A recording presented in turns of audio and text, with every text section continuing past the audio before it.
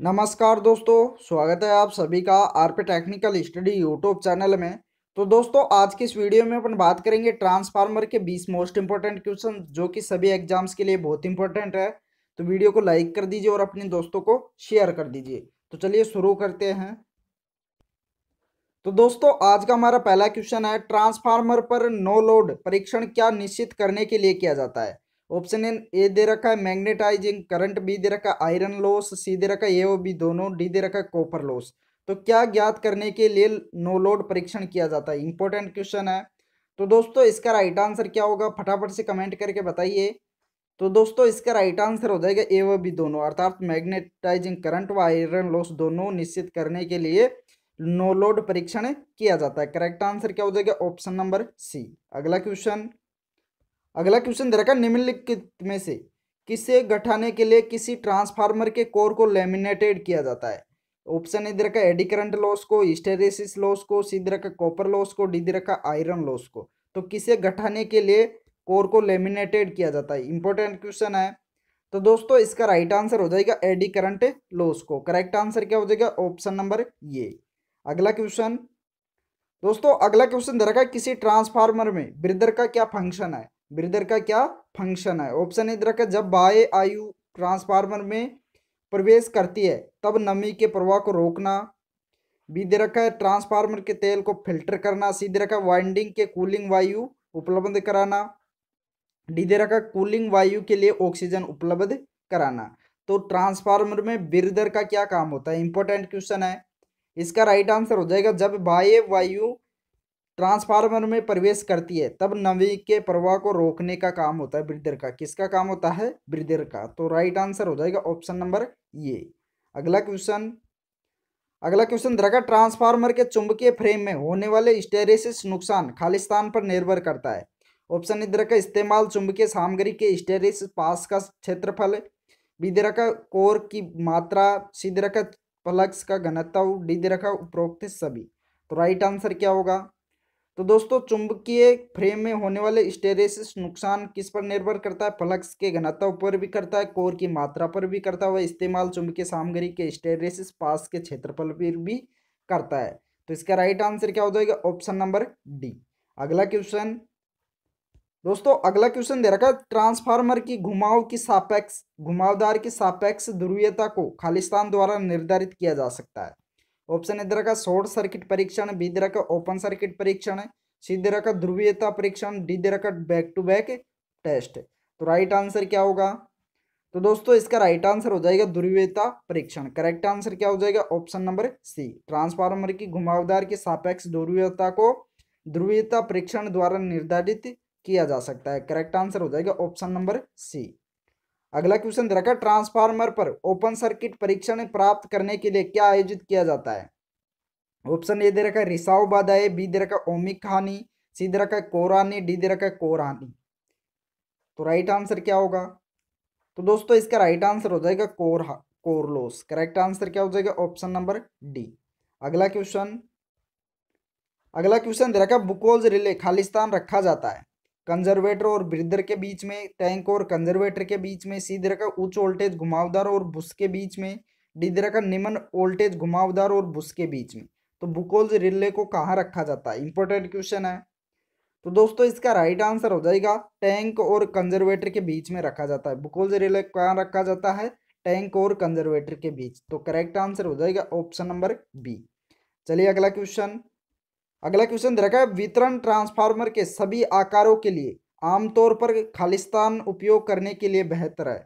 Option इधर का सादा चादरी स्टील टैंक बी दे रखा ट्यूब टैंक सी दे रखा नालीदार टैंक डी दे रखा रेडिएटर टैंक तो राइट आंसर क्या होगा?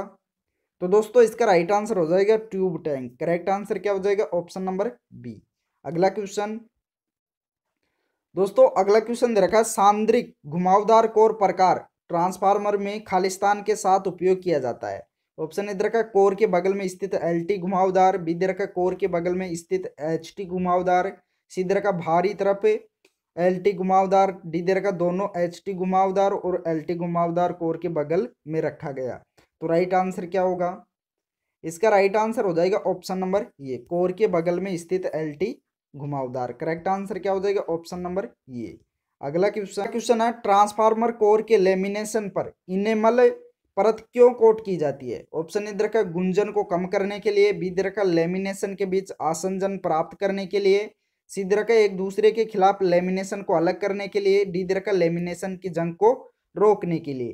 तो ट्रांसफार्मर कोर के लेमिनेशन को इनेमल परत क्यों कोट की जाती है। इंपॉर्टेंट क्वेश्चन है। तो दोस्तों, इसका राइट आंसर हो जाएगा, एक दूसरे के खिलाफ लेमिनेशन को अलग करने के लिए इनेमल परत द्वारा कोट की जाती है। करेक्ट आंसर क्या हो जाएगा? ऑप्शन नंबर सी अगला क्वेश्चन अगला क्वेश्चन रखा ट्रांसफार्मर में चुंबकीय प्रवाह का मार्ग है। ऑप्शन इधर का उच्च अनिच्छा बी का निम्न प्रतिरोध सी का उच्च चालकता डी का निम्न अनिच्छा। तो ट्रांसफार्मर में चुंबकीय प्रवाह का मार्ग क्या है? इंपॉर्टेंट क्वेश्चन है। इसका राइट आंसर हो जाएगा निम्न अनिच्छा। करेक्ट आंसर क्या हो जाएगा? ऑप्शन नंबर डी अगला क्वेश्चन दोस्तों, अगला क्वेश्चन दे रखा सेल टाइप ट्रांसफार्मर में चुंबकीय पतों की संख्या होती है। एक, दो, पाँच या दस। तो राइट आंसर क्या होगा? सेल टाइप ट्रांसफार्मर में चुंबकीय पतों की संख्या कितनी होती है? राइट आंसर हो जाएगा ऑप्शन नंबर बी दो। करेक्ट आंसर क्या होगा? ऑप्शन बी अगला क्वेश्चन दोस्तों, अगला क्वेश्चन दे रखा है, एक आइसोलेशन ट्रांसफार्मर में प्राइमरी से सेकेंडरी ट्रंस का अनुपात खालिस्तान होता है। एक अनुपात दो दो अनुपात एक एक अनुपात एक या दो अनुपात दो। तो एक आइसोलेशन ट्रांसफार्मर में प्राइमरी व सेकेंडरी में ट्रंस का अनुपात क्या होता है? इंपॉर्टेंट क्वेश्चन है। तो दोस्तों, इसका राइट आंसर हो जाएगा एक अनुपात एक। करेक्ट आंसर क्या होगा? ऑप्शन नंबर सी अगला क्वेश्चन अगला क्वेश्चन दे रखा अगर किसी ट्रांसफार्मर के प्राइमरी को डीसी सप्लाई के साथ जोड़ा जाता है तो क्या होगा? ऑप्शन इधर का ट्रांसफार्मर कम क्षमता के साथ काम करेगा, बी का ट्रांसफार्मर अधिक क्षमता के साथ काम करेगा, सी का ट्रांसफार्मर के ऑपरेशन पर असर नहीं पड़ेगा, डी का ट्रांसफार्मर में धुआँ निकलने लगेगा और जलने लगेगा। तो अगर किसी डी, किसी ट्रांसफार्मर के प्राइमरी को डीसी सप्लाई से जोड़ दिया जाता है तो क्या होगा? इंपॉर्टेंट क्वेश्चन है तो दोस्तों, इसका राइट आंसर हो जाएगा ऑप्शन नंबर डी ट्रांसफार्मर से धुआँ निकलने लगेगा और जलने लग जाएगा, अर्थात ट्रांसफार्मर जल जाएगा। तो राइट आंसर हो जाएगा ऑप्शन नंबर डी अगला क्वेश्चन अगला क्वेश्चन दे रखा स्टेप अप और स्टेप डाउन ट्रांसफार्मर दोनों में प्राइमरी फ्लक्स हमेशा सेकेंडरी फ्लक्स खालिस्तान होता है।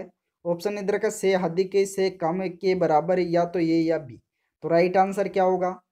तो दोस्तों स्टेप अप व स्टेप डाउन ट्रांसफार्मर दोनों में प्राइमरी फ्लक्स हमेशा सेकेंडरी फ्लक्स के बराबर होता है। करेक्ट आंसर क्या हो जाएगा?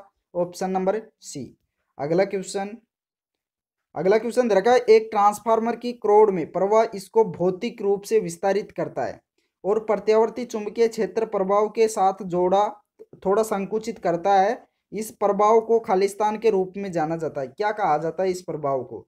चुंबकीय विरूपण झूल प्रभाव, विद्युत अपघटन चुंबकीय प्रेरण। तो एक ट्रांसफार्मर की क्रोड में प्रवाह इसको भौतिक रूप से विस्तारित करता है और एक प्रत्यावर्ती चुंबकीय प्रत्यावर्ती चुंबकीय क्षेत्र प्रभाव के साथ थोड़ा संकुचित करता है तो इस प्रभाव को क्या कहा जाता है? इंपॉर्टेंट क्वेश्चन है। तो इसका राइट आंसर हो जाएगा, चुंबकीय विरूपण कहा जाता है। क्या कहा जाता है? चुंबकीय विरूपण। अगला क्वेश्चन अगला क्वेश्चन रहेगा निम्नलिखित में से कौन सा परिणामित्रों का नियमित परीक्षण नहीं है? इनमें से ट्रांसफार्मरों का नियमित परीक्षण कौन सा नहीं है? ऑप्शन इधर क्रोड रोधन वोल्टता परीक्षण, बी का प्रतिबाधा परीक्षण, सी का रेडियो व्यतीकरण परीक्षण, डी का निरंतरता परीक्षण। तो इनमें से ट्रांसफार्मर का नियमित परीक्षण कौन सा नहीं है? इंपॉर्टेंट क्वेश्चन है। तो दोस्तों, इसका राइट आंसर हो जाएगा, रेडियो व्यतीकरण परीक्षण नहीं है। करेक्ट आंसर क्या होगा? ऑप्शन सी अगला क्वेश्चन दोस्तों, अगला क्वेश्चन दे रखा परिणामित्र की।